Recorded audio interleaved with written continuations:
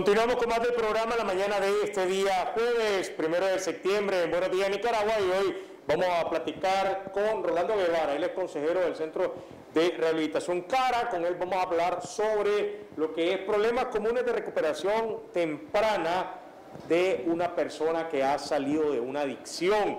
Esto es cuando ya se reincorpora nuevamente a la sociedad, a su día a día, cómo afrontar estas situaciones que puede vivir, porque el mundo no ha cambiado ni su familia, ni sus amistades. Bueno, las amistades puede cambiar, pero las puede dejar. Pero él que ha cambiado es él o ella. Mi estimado Orlando, buenos días, bienvenido.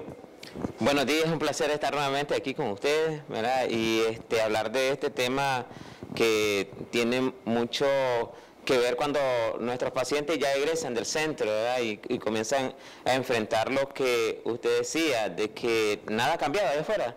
Simple y sencillamente eh, regresamos a, a nuestro paciente o cliente, como le llaman en otras instituciones, al seno familiar, a la sociedad, simple y sencillamente reintegrarse nuevamente. Pero, ¿qué, qué va a hacer? Pues nosotros allá en el centro eh, tenemos cierta, cierta, ciertas este, reglas que nosotros no, nos apegamos a ello de, de, darle seguimiento, es una de ellas, ¿verdad? Pero muchas veces no se cumple, pues porque el paciente eh, se, se, da otras tareas, se aleja del centro, y ahí es donde pierde la oportunidad de que le demos como las herramientas necesarias para poder enfrentar este, este tipo de situaciones. Rolando, vos has mencionado algo muy importante. Muchas veces el paciente, después de estar un eh, una semana, 15 días, un mes, ¿Sí? Eh, eh, dentro del centro, pues se evita, o mejor se comienza a habituarse a las actividades. Entonces siente que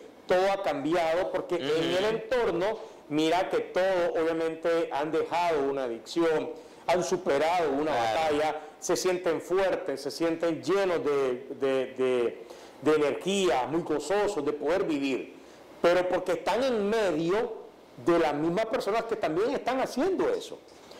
Pero cuando salen del centro y este, eh, el hecho no es el saber dejar una adicción, el hecho es mantener Claro, firme claro. en esa decisión. Sí. Entonces cuando salen del centro se dan cuenta que ya no están con aquellas personas que están luchando, sino que ahora encienden la televisión y pueden ver un anuncio. Pasan por un lugar donde ellos eran Ujú. adictos o consumían y entonces les recuerda o se encuentran amistad o en el mismo trabajo a personas con las cuales compartía este mismo, esta misma actividad de una adicción. Entonces se dan cuenta que o lo superaron o están frágil todavía. Sí. ¿Cómo hacen ustedes desde el centro para que este, eh, esta persona se mantenga firme? Voy a decía el seguimiento, pero decías que eso va más en dependencia del mismo paciente. Claro. Pero ¿qué herramientas le dan cuando el paciente sale dentro de las cuales le va a permitir mantenerse firme en esa decisión de no caer? Tenemos tres reglas. Alejarse de los amigos de actividad, ¿Ok? eh, no visitar lugares por, por un tiempo prudencial, Cambiar de camino, hombre, no te por el mismo, por otro. Sí, este, y buscar si- sus sistemas de apoyo. En este caso le damos, si sus sistemas de apoyo son la iglesia, eh, un confidente, eh, su pareja, eh, su familia en este caso. Es muy Eh, importante esto, la parte claro, apoyo, ¿verdad? claro, el apoyo. Son los sistemas, los sistemas de apoyo que él va a desarrollar y que, va- y que aprendió durante su proceso cuando, cuando estuvo en el centro a- este, rehabilitándose. Ahí aprendió a identificar cuáles van a ser sus sistemas de apoyo, porque allá nosotros le enseñamos dos tipos de sistemas. Los, lo- los sistemas que son disparadores para él y los sistemas de apoyo que no son disparadores para él. Muy, muy interesante Sí. eso. Significa que hay personas que son más pro- eh, propensas a caer por una situación que puede haber que, le, que se canalice mal y esto le inmediatamente hace que esta persona busque lo que había dejado. Ah, claro. Entonces, ustedes le, le enseñan a saberlo canalizar y descifrar cuáles son estos puntos frágiles que lo van a hacer caer y cuáles son aquellos puntos que no, ni van ni bien, o sea, no le crean ningún tipo de situación que lo haga caer. Recordemos de que la adicción eh, es algo que radica en la persona y que está dentro de ella y que Sí. cualquier cosa la va a activar, pues un recuerdo, un sentimiento Y todo esto tiene que ver con el manejo que tenga el paciente en un momento determinado, la ansiedad, la pérdida de alguien, ya estando limpio, ya estando en, su vida cotidiana, el despido de un trabajo, eh, eh, las reuniones sociales. ¿Cómo enfrentar ese tipo de situaciones? Entonces nuestro paciente ya va con las herramientas necesarias. Entonces nosotros le llamamos disparadores, que él conozca sus disparadores en primer lugar, porque hay, hay ciertos hay ciertos disparadores de que no, los conocen hacia fondo, pero que sí están dentro de ellos. Y hay otros que sí ya los conocen, que ya le decíamos mención, pues los amigos de actividad. ¿Qué hace, qué hace una persona rehabilitada juntándose con los amigos de actividad? ¿Qué hace una persona rehabilitada? rehabilitarlo imagínense. Ahora, ¿qué hace una persona rehabilitada metido en un bar o en una disco? Así es. Sí, entonces nosotros le enseñamos de que no es que no va a ir nunca o no va a volver a hacer esa actividad, sino por un tiempo prudencial. Nosotros tenemos algo allá. Eh, le enseñamos a nuestro paciente a, a ajustarse por 180 días, que que dice la neurociencia de que en 180 días la persona ya puede volver a, sus actividades sociales de una manera normal. Estamos hablando de seis meses. Sí, siempre y cuando se apegue a las recomendaciones que le dan este, en el tratamiento. Ok, oye Hernando, algo tan importante también en este punto es el hecho de que muchas veces estos pacientes cuando han llegado a un centro a buscar una ayuda, una, a querer cambiar su vida, es porque han llegado a cierto punto donde ya dañaron, destruyeron, desbarataron, cambiaron su entorno, lastimaron a sus seres queridos, la familia se volvió disfuncional, eh, son personas que crearon un ambiente demasiado tóxico por el nivel que llegó a vivir de una adicción, sea cual sea. Entonces, cuando vuelve, a veces no es ni el mismo trabajo, ni, el, ni los mismos amigos, ni la misma calle que paso que me puede recordar. No, muchas veces es la casa, el hogar. Y yo sé que ustedes también trabajan paralelamente con la familia que ha sufrido este daño, esta secuela, estas situaciones, pero que a la vez tienen que entender que él salió y otra vez hay que darle una nueva oportunidad.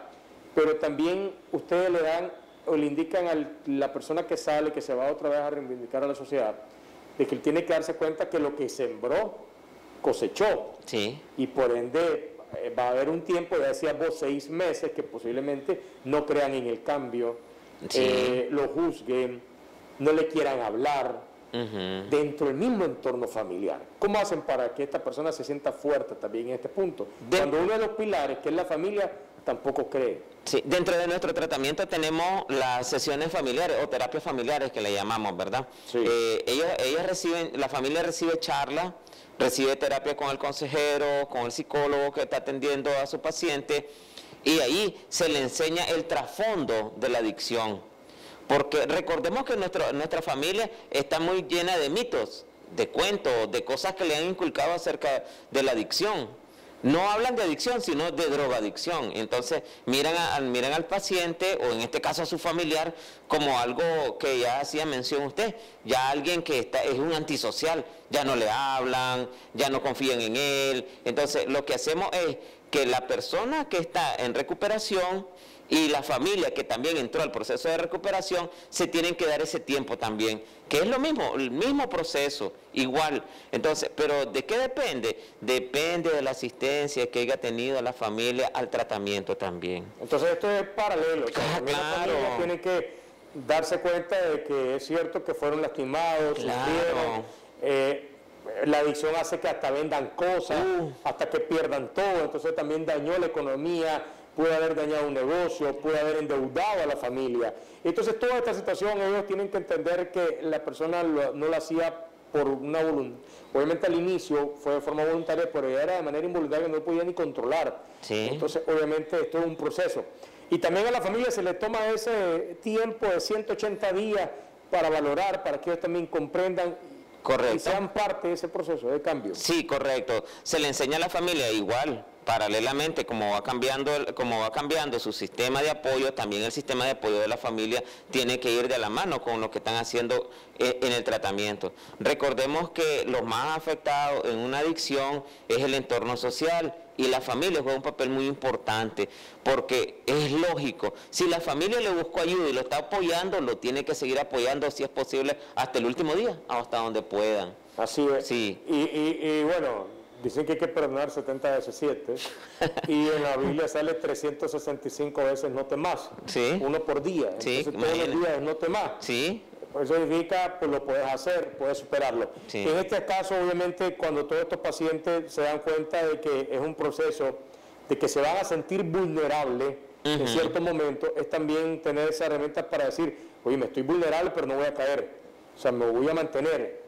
Cuando ustedes han visto varios ejemplos y testimonios de esto, cuando el paciente logra no caer, a pesar de que pueda haber sentido muy vulnerable por un recuerdo, por una situación, por un problema que volvió a, suscitar dentro del hogar o en cualquier entorno, no cayó, se siente con más fuerza, con más vigor de decir, lo superé, Sí, lo he logrado, sí, claro. puedo hacerlo solo. Pasa. Sí, pasa. Fíjense que hay, hay, hay tantos testimonios de nuestros pacientes que han, han pasado por situaciones adversas a lo que ellos esperaban y lo han superado y se mantienen, se mantienen limpios. Pero eso está radicado en cómo está tomando el tratamiento el paciente. Si sigue las recomendaciones, si ha seguido su, su sistema de apoyo al pie de la letra, si ha continuado con sus responsabilidades, sus principios morales. Entonces, e- es, esas cosas que, él está haciendo nuevas son como herramientas para poder enfrentar ese tipo de situaciones y se mantienen. Tenemos casos de pacientes que han cumplido hasta 10 años de que no, no volvieron a consumir, pero siguen yendo a un programa de autoayuda, siguen en constante comunicación con nosotros.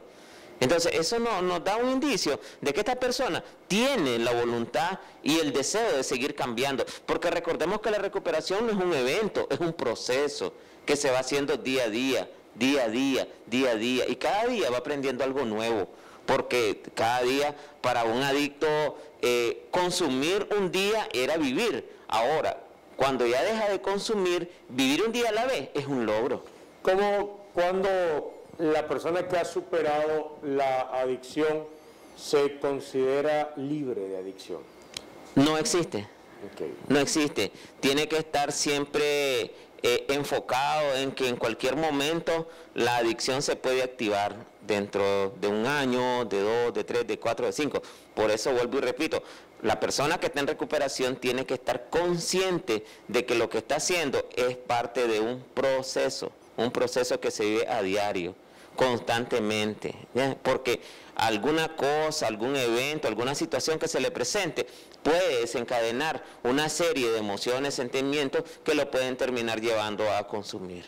Orlando, muchas gracias. Sí. El Centro de Rehabilitación Cara, ¿dónde está ubicado para todos aquellos amigos televidentes que estén interesados porque están pasando una situación similar y requieren ayuda? Ah, claro, nosotros estamos ubicados en la colonia Miguel Bonilla, detrás del UNAM, eh, terminal de la ruta 111, 168, 300 metros al sur. El número de teléfono es el 2278-0578. También aparecemos en Facebook, ¿verdad? Como Centro Cara. Ok, entonces Sí. tiene los números telefónicos, la dirección, redes sociales, como Centro de Rehabilitación Cara. De igual manera, pues si usted pasa por esta situación, no pierda la oportunidad de buscar ayuda profesional, como nuestros invitados que hoy nos han estado acompañando para hablarnos de estas situaciones, de este paso a paso, de este día a día, que es para poder superar una adicción y más cuando la persona sale del centro y se quiere reivindicar en la sociedad y en la familia. Mi- agradecemos a mi estimado Rolando Guevara, Gracias el a ustedes. del Centro de Rehabilitación Cara por acompañarnos esta mañana a hablar de este tema. Así culminamos la revista, deseamos que usted tenga un feliz día, iniciamos mes, casi el fin de semana y lo esperemos mañana, 8 en punto de la mañana en Buenos Días Nicaragua.